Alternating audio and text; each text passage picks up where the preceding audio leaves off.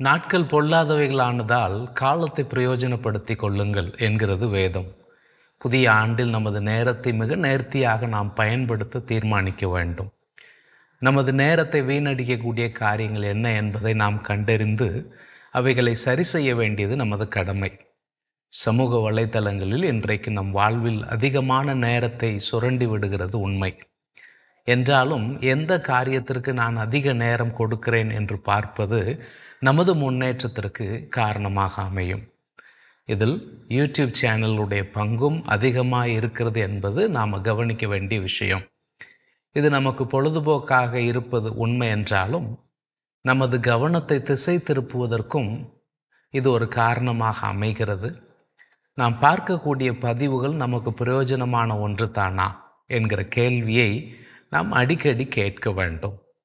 அந்த வகையில் யூடியூபில் கிறிஸ்தவ சேனல்களை பார்க்கும்போது நாம் நமது நலனுக்காக தவிர்த்துவிட வேண்டிய சேனல்கள் எவை? இதுதான் இந்த பதிவில் நாம் பார்க்க போகிற காரியம். எந்த சேனலுடைய பெயரும் இங்கே நாம் குறிப்பிட போவதில்லை. இதை உங்கள் யூகத்திற்கே விட்டுவிடுகிறோம். ஒன்று தீர்க்க தரிசனங்களை மட்டுமே மையமாக வைத்து செய்யப்படும் ஊழியங்களுடைய சேனல்களை தவிர்த்து விடுவது நல்லது. சில சேனல்கள் முழுக்க முழுக்க கர்த்தர் எனக்கு இதை வெளிப்படுத்தினார் என்கிற அடிப்படையில் தரிசனங்களையும் சொப்பனங்களையும் அதிகமாக முக்கியப்படுத்துகிறார்கள். இவர்களின் தரிசனங்கள் சில வேளைகளில் வேத வசனங்களுடன் ஒத்துப்போகிறதா என்று கூட அவர்கள் சிந்திக்கிறதில்லை.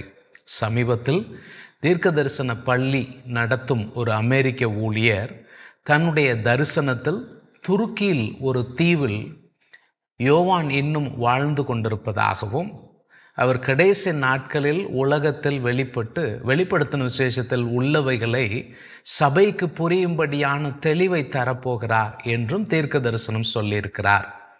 அப்படி அவர் வெளிப்படுகிற காலத்தில் உலகளாவிய அரசியலில் எப்படிப்பட்ட மாற்றம் ஏற்பட போகிறது என்பதையும் அந்த தரிசனத்தில் ஒரு தூதன் அந்தி கிறிஸ்து யார் என்பதை கூட அடையாளப்படுத்தினதாகவும் பேசியிருக்கிறார். இதை போலவே இந்தியாவை சேர்ந்த தமிழ் பேசக்கூடிய ஒரு தீர்க்கதரிசி இதே யோவானை தரிசனத்தில் கண்டதாகவும் அவர் பத்மோதேவில் உயிருடன் இருப்பதாகவும் சொல்லியிருக்கிறார். இது போன்ற தரிசனங்களுக்கு வேதத்தில் என்ன சான்று இருக்கிறது? யோசித்து பாருங்கள். யோவான் இன்னமும் உயிரோடு இருந்து கடைசி காலத்தில் சபைக்கு வெளிப்படுத்தல் குறித்த தெளிவை தர வேண்டும் என்று சொன்னால் இப்போது இருக்கிற அல்லது இதுவரை இருந்த சபைக்கு தேவன் அந்த மேன்மையை ஏன் மறைத்து வைத்தார்? ஆவியானவர் சகல சத்தியத்திலும் உங்களை நடத்துவார் என்கிற வசனத்தின் அர்த்தம்தான் என்ன? இன்னும் அநேக கேள்விகளை இது போன்ற தீர்க்க தரிசனம் நம்மில் எழுப்புகின்றன. இதுடன் நாம் சேர்ந்து பார்க்க விரும்புகிற மற்றொரு காரியம் நான் பரலோகத்திற்கு சென்று வந்தேன் பரலோகத்தில் அதை பார்த்தேன் இதை பார்த்தேன் என்கிற வடிவில் வரக்கூடிய புஸ்தகங்கள் சாட்சிகள் போன்ற வீடியோக்கள். நரகத்தை தேவதூதன் எனக்கு காண்பித்தான். அங்கே சில ஊழியர்களையும் பார்த்து அதிர்ந்து போனேன். இது போன்ற காரியங்கள் எந்த அளவீட்டில் நாம் நிதானித்து பார்க்க முடியும் என்று யோசித்து பாருங்கள். இதோடு கூட சேர்ந்து இனி சம்பவிக்க போகிறவை என்று வரக்கூடிய வெளிப்பாடு சொல்லுகிறவர்களையும் நாம் இதோடு சேர்த்து கவனத்தில் வைக்க வேண்டியது அவசியம். பொதுவாகவே தீர்க்க தரிசனம் சபைக்குள்ளிருந்தே செயல்பட வேண்டியது அவசியம் என்பது நம்முடைய ஆழமான நம்பிக்கை. சிலருக்கு கடைசி காலங்களை குறித்து ஒரு அறிவு வேண்டும் என்கிற பயங்கரமான ஆவல். சிலருக்கு கடைசி காலங்கள் குறித்த செய்தி என்றாலே பயம். இந்த இரண்டு எக்ஸ்ட்ரீமே தவறுதான். கடைசி காலங்களை குறித்த தெளிவான தீர்க்க தரிசனமாக இயேசு கிறிஸ்துவே ஒளிவ மலையில் தம்முடைய சீசர்களோடு காரியங்களை பகிர்ந்து கொடுத்திருக்கிறார். வெளிப்படுத்தின விசேஷத்திலும் பல காரியங்கள் சொல்லப்பட்டிருக்கின்றன. இப்படி வேதாகமத்தில் சொல்லப்பட்டிருக்கிறவைகளை நாம் படித்தால் போதுமானது. அந்தி கிறிஸ்து எப்போது வருவான்? சிப்பை பதித்து கொண்டால் ஒருவர் பரலோகம் செல்ல முடியுமா? முடியாதா? சிப்பு தான் அந்தி கிறிஸ்துவனுடைய முத்திரையா? என்பது போல மக்களை குழப்பும் பயமுறுத்தும் செயல்களில் ஊழியர்கள் ஈடுபட வேண்டிய அவசியமில்லை. உங்கள் வாழ்வு தேவன் கரத்தில் இருக்கிறது. தேவன் உங்கள் ஜீவனுக்கும் மறுமையின் வாழ்வுக்கும் தேவையான எல்லா கிருபைகளையும் தந்திருக்கிறார். என்றால் நாளையை குறித்த பயம் நமக்கு எதற்கு? எனவே தீர்க்க தரிசனங்களையும் வெளிப்பாடுகளையும் மையமாக வைத்திருக்கும் சேனல்களை நாம் தவிர்ப்பது நமக்கு நல்லது. சிலர் தீர்க்க தரிசன ஊழியங்களின் வழியாக மக்கள் தங்களையே எப்போதும் சார்ந்து கொள்ள வேண்டும் என்கிறதான ஒரு சூழலுக்கு மக்களை தள்ளிவிடுகிற அபாயம் இருக்கிறது. எந்த ஊழியமும் எப்போதும் மக்கள் தங்களையே சார்ந்து இருக்கிறதற்காக போதிக்குமே ஆனால் அது கிறிஸ்துவை பிரதிபலிக்கிற ஊழியமாக இருக்க முடியாது. ஜனங்கள் கிறிஸ்துவுக்கு நேராக்கப்பட்டு அவர்கள் சுயமாய் கிறிஸ்துவில் வளர போதிக்க வேண்டியதுதான் இன்றைய தேவை. இரண்டாவதாக ஊழியர்களையும் ஊழியங்களையும் குறை கூறுவதை மட்டுமே தொழிலாக வைத்து செயல்படும் சேனல்களை தவிர்ப்பது நல்லது. ஒரு நபருடைய உபதேசம் தவறாக இருக்கிற பட்சத்தில் அதை எடுத்து சொல்லி விளக்கம் கேட்பது அல்லது மக்களுக்கு தெளிவுபடுத்துவது என்பது தவறல்ல. அதை விட்டு விட்டு இந்த ஊழியர் அதை செய்கிறார் இந்த ஊழியர் இதை செய்கிறார் என்று பொது வழியில் ட்ரோல் செய்யக்கூடிய வீடியோக்கள் நமக்கு எந்த விதத்திலும் பக்தி விருத்தியை தரப்போவதில்லை. ஒருவர் சபையில் என்ன நடைமுறையை பின்பற்றுகிறார் என்பது அவரும் அவருக்கு ஆண்டோர் தந்த நடத்துதலும் சம்பந்தப்பட்ட காரியம் அந்த சபையில் இருக்கக்கூடிய விசுவாசியும் ஊழியரும் சம்பந்தப்பட்ட காரியம். அதை கேள்வி கேட்க வேண்டிய அவசியம் இருக்கிறதா என்று எனக்கு தெரியவில்லை. சமீபத்தில் ஒரு பெரிய சபையில் கேலண்டரை பணம் கொடுத்து வாங்க அறிவிப்பு செய்த ஒரு ஊழியரை வைத்து ஒருவர் ஒரு வீடியோ பதிவு செய்து படு கேவலமாக பேசுகிறார்.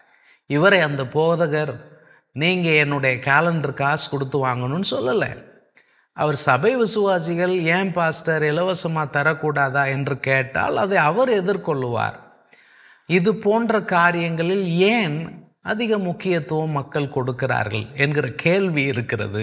எனவே ஊழியர்களை ஊழியங்களை குறை கண்டுபிடிக்கிற ட்ரோல் ஆர்மிக்கு நாம் விலகி இருப்பது நம்முடைய ஆவிக்குரிய சுகத்திற்கு மிகவும் நல்லது. உங்கள் பதிவு எத்தனை நபர்களுக்கு பக்தி விருத்தி தருகிறது என்கிற கேள்வியே முதல்ல கேளுங்க. அதன் பின்பு உங்கள் த பதிவுகளை தயார் செய்யுங்கள். கேட்கிறதான விசுவாசிகளும் பொதுவாகவே இந்த ஊழியம் முக்கியமாக என்னுடைய தனிப்பட்ட பக்தி விருத்திக்கு என்ன செய்கிறது என்கிற கேள்வியை கேட்காமல் எந்த ஒரு வீடியோவும் தனிநபர் விமர்சனத்தை மாத்திரம் மையமாக வைத்திருக்கும் என்று சொன்னால் அதை அவாய்ட் பண்ணுவது மிக நல்லது. மூன்றாவதாக சில ஊழிய பிரபலங்கள் ஊர் சுற்றுவதை குறித்து அவர்களுடைய அன்றாட வாழ்க்கை முறைவை குறித்தும் வீடியோ போடுவது எதற்காக என்று நான் யோசித்துக்கிட்டே இருக்கிறேன். சூரியனுக்கு கீழே நான் காணும் மற்றும் ஒரு தீங்கு இது.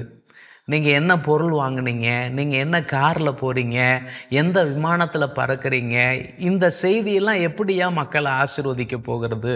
இன்னும் சிலர் சாட்சி என்கிற வடிவத்தில் அன்றாட தேவைக்கே இல்லாமல் இருந்தப்போ இப்போது கர்த்தர் என்னை கோடீஸ்வரனாக மாற்றிவிட்டார். நிறைய கார்கள் ஆடம்பர வீடு எல்லாம் எனக்கு தந்திருக்கிறார் என்று சாட்சி சொல்லுகிறார்கள். சாட்சியின் நோக்கம் என்ன? இயேசுவிடம் வந்தால் உன்னையும் ஆடம்பர வாழ்வு வாழ ஆசிர்வதிப்பார் என்பதா? அல்லது அவர்களுக்குள் இருக்கும் பேராசையை தூண்டக்கூடிய சாத்தானின் தந்திரமா? யோசித்து பாருங்கள். உங்கள் உல்லாச பயணம் உங்களை மகிழ்ச்சியாகட்டும். அது எதற்காக ஒரு பதிவாக வெளிவிட்டு பிறருடைய நேரத்தை வீணடிக்கிறீர்கள்? இதனால் கிறிஸ்து மகிமைப்படுகிறாரா? நான் இதை வெளியிட்டதால் யாருக்கு என்ன பிரயோஜனம் இருக்கிறது? என்கிற கேள்வியை நம்ம கேட்டு ரெண்டாயிரத்தி இருபத்தி மூணில் நம்முடைய பதிவுகளை திருத்தி கொள்ளுவது அவசியம். கிறிஸ்துவுக்குள் பிரியமானவர்களே இது போன்ற சேனல்களை நீங்கள் தவிர்ப்பது மிகவும் நல்லது. நீங்கள் இந்த ஆண்டில் உங்கள் முன்னேற்றத்திற்காக என்ன காரியங்களை தவிர்க்க வேண்டும் என்று தீர்மானித்திருக்கிறீர்கள். நீங்கள் எந்த மாதிரி வீடியோக்களை ஊழியர்கள் பதிவு செய்யக்கூடாது என்று நினைக்கிறீர்கள் என்பதை கமெண்ட்ஸில் எங்களுக்கு தெரியப்படுத்துங்கள். கர்த்த தாமே உங்களை ஆசிர்வதிப்பாராக. ஆமேன்.